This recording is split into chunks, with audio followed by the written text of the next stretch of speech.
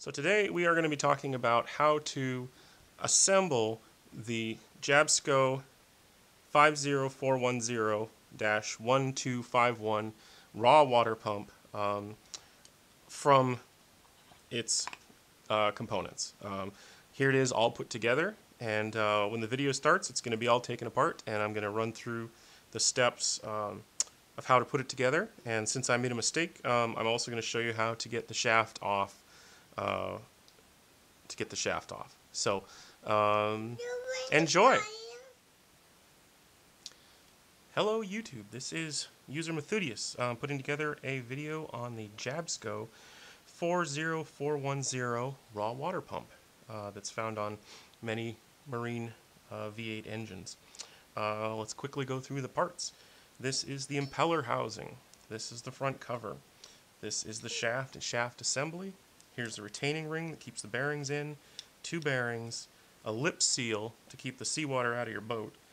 This O-ring was on mine when I took it apart. Um, I'm going to put it back. It went uh, kind of between the impeller assembly and the, the uh, bearings. Screws that hold the face on, an O-ring to keep to seal between the impeller assembly and the face, and the impeller, of course. Um, so if you're looking at this and you don't uh, don't know what a Jabsco 40410 pump is, probably not the video for you. But if you've got one of these things and it doesn't work or your impeller is shot and you're wondering how to put it back together, uh, let's do that now.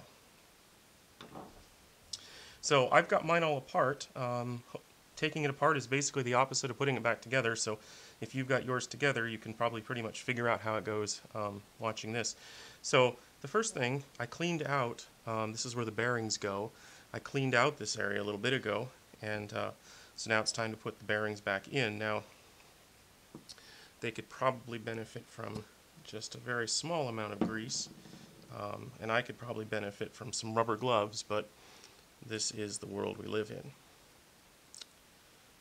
Alright, now they're not going to drop in hopefully so we have to figure out a way to get them in. Um, what I am going to try here is to just press them in with a C-clamp. I think that'll work great. Okay, back. So what can happen is the, the, the ball bearing here can try to go in sideways, and you're not going to want that. So you're gonna, I just went and I just tapped it gently to get it to line up nicely. So now that it's good and seated in there, we should be able to press it in uh, with a C-clamp so what I've got set up here is I've got a, a fairly large C-clamp, got a piece of wood to protect the housing, and then I've got a big steel washer on this end, and then my C-clamp. So we can just push it right in. And in it goes. And there it is. There's two of these, so we're going to do this twice.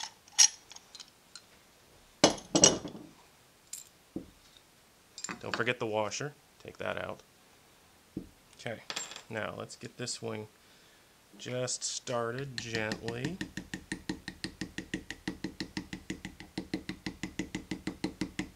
Okay, once it's once it's started and lined up in there, then it won't try to twist on you, and that's a good Once we've assembled it, it looks just like the first one, just like the first one, and we'll just press it right on in. Doesn't go very far. Okay. So now we have our two ball bearings. Now even though we did have to press those in, there's a chance they might come out. And so for that, we have a retaining ring. Um, I am reusing the retaining ring that was in mine. I probably should be replacing it, but I don't uh, happen to have another one. And so uh, we're just going to put the original back in. Um, so you're also going to need retaining ring pliers, handy thing to have. Um, just put that little guy in his little slot and in he goes. So now you have the bearings are fixed up and locked in place. Um, and these, these things go bad. incidentally, the bearings, this is the box they came in. They are SKF Explorer, and the number is 6203-2RSJ. Um, so if you're curious uh, what kind of bearings and you don't want to just order the kit on the on eBay that's for this, uh, you can just order the bearings. Um, so next, we're going to flip this over and start reassembling the the pump itself. So now that we got the bearings and the retaining ring in, probably a little grease on that retaining ring to keep it from rusting in the marine environment probably would not go amiss. Um, when I pulled mine out, it was very rusty. Um, so, can't hurt. Okay. Uh, so now we have to put the impeller assembly back on the shaft. And so it kind of goes on like, like so. Uh, I'm going to try to just tap it on because it's a little bit longer than my C-clamp will, will, uh, will do. So maybe just a gentle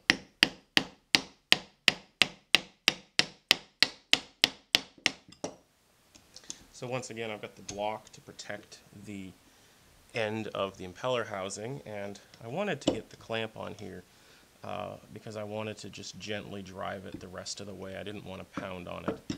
Um, and so it'll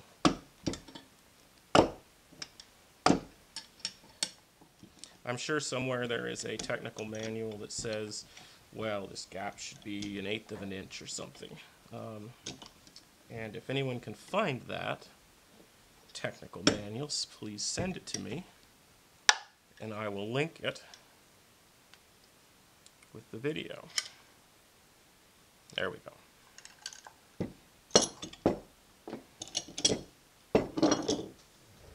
So, now we got our pump, bearings are in place. This all looks very reasonable. So, when I took my pump, my Jabsco raw water pump apart, it had this teeny little O-ring uh, around the shaft. I don't know what it's for.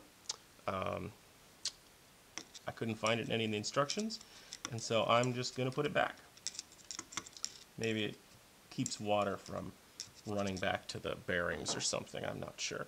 So the next thing that goes in is the lip seal. Um, what this does is it keeps water from passing between the shaft and the housing and out into your engine compartment.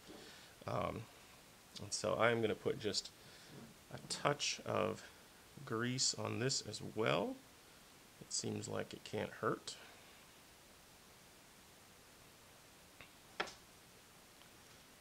Drop that bad boy down.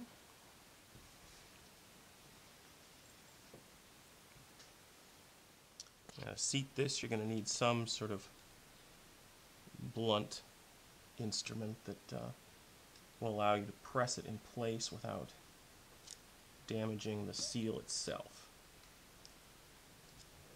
I've chosen a chopstick for this task. Good sturdy one.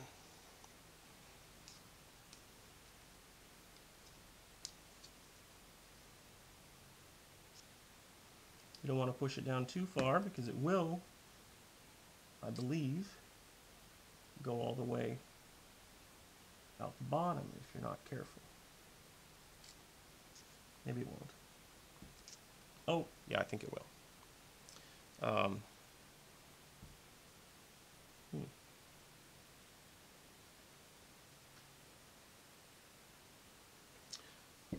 Yes, it will. Uh, so I am going to show you how to take this apart. So I stuffed the lip seal too far down into the uh, housing, and so now I'm going to show how to remove the shaft from a Jabsco raw water pump. Um, so what I've got on here is a wheel puller. What's the water pump? This is a water pump. Oh. Yes. And I've got a wheel puller on here, and uh, so getting the shaft off is a simple matter of just cranking it off. Whoops. Uh-oh, I made a mess. What are you trying to do, Dad? I'm trying to remove the shaft that I put on a few minutes ago.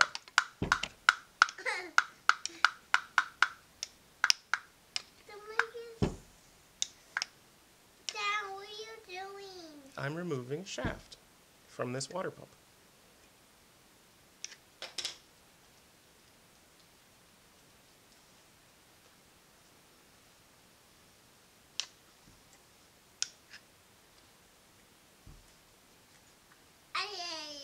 Really? I'm gonna have to redo all the audio for this part, you know. Oh, and there, it's free. Okay. All right, so let me, I did it. So let me type. Okay, so I've got the pump back apart. Um, and what you're gonna wanna do is install the lip seal uh, down here. Um, just install it with your fingers. Um, let's see if that shows up. Um, just install it with your fingers. Make sure you don't push it too far because if you push it too far, you uh, are going to have to take it apart and um, get it back together. So probably the easiest way to do it at this point is just push it in with your fingers. Make sure it's not too far in. Um, okay, so now we're back to putting the shaft back on the bearings. So my uh, clamp isn't large enough to do this in one go, so what I'd want to do is I'm just going to tap it on. Just gently tap it on. Oh, make sure you're protecting your work surface down here. And then just gently tap it on.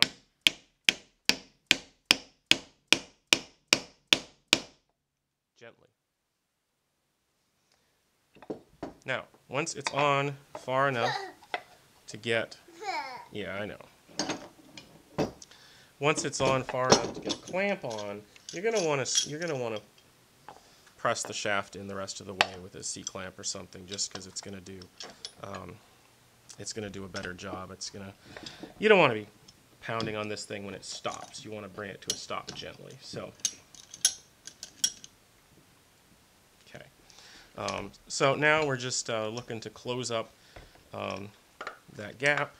Like I said, there's probably some manual that says exactly what that gap should be, but uh, I don't know exactly what that is, and so I'm just trying to close it up to the way it looked like when I took it apart, which is, I don't know, maybe an eighth of an inch. Okay. Maybe. Okay, so now Oh. Guess what, Dada? now we've got I got on the truck. really. I hanged on tight. Oh my gosh. Um, so now we have the two pieces together. They spin nicely. New bearings. Have a new lip seal. Um, so we're almost done. So um, what we need to do now is we've got your impeller. Um, you're going to want to grease the spline of the impeller or grease the shaft, I suppose. Um, again, here's some of that that marine grease. Um, you just don't want any um, you don't want this thing to corrode on and become difficult to remove in the future. That's kind of What is that, Dada? That is grease. So that's what that's soap. We're gonna use that next. Um, so once you got some, once you got the shaft. I'm not gonna put it on you. Uh, once you got the shaft good and greased, um, probably should be wearing gloves here. Um, you're gonna want to put the impeller in. Now, uh, probably the best thing to do is use some good dish soap. Um, you don't you don't need to grease the uh, you don't want the, the impeller itself covered in grease. Um, so just slather the inside with some liquid dish soap, just something that'll give it a little slide, but uh, something that'll isn't going to stick around um, inside the pump. Um,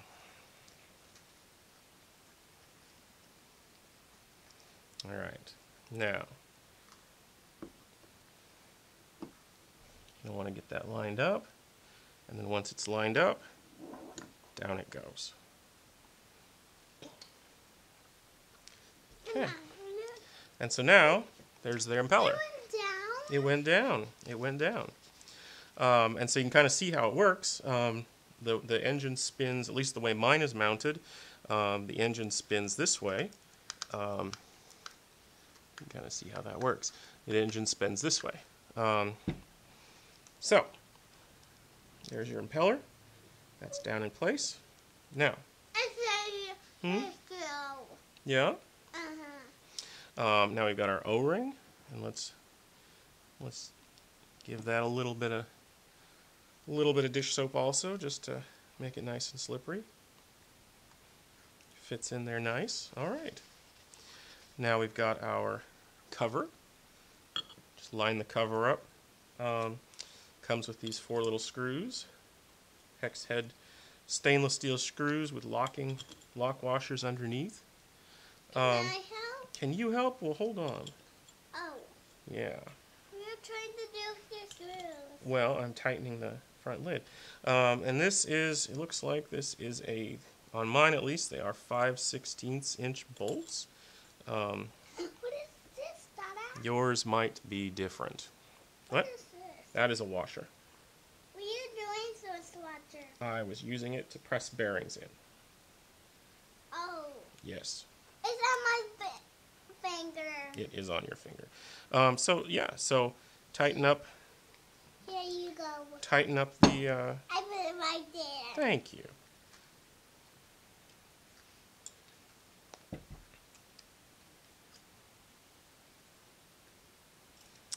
Tighten it up and your water pump, your raw water pump, is good to go. Um, so this is Methodius. Water pump. This is Methodius, and hopefully this The water pump funny. is it funny. Yeah. Hopefully, um, this little explanation of how to assemble a Jabsco 50410-1251 raw water pump was beneficial to you. Um, I created this because I did not find any videos on YouTube showing this exact thing. Um, and so hopefully uh, someone can find some use to it. And if I've made some egregious error, um, you know, if these if these screws if these bolts are supposed to be tightened to like 50 foot pounds or something, and and you want to tell me about it, um, leave a comment. All right, thank you very much.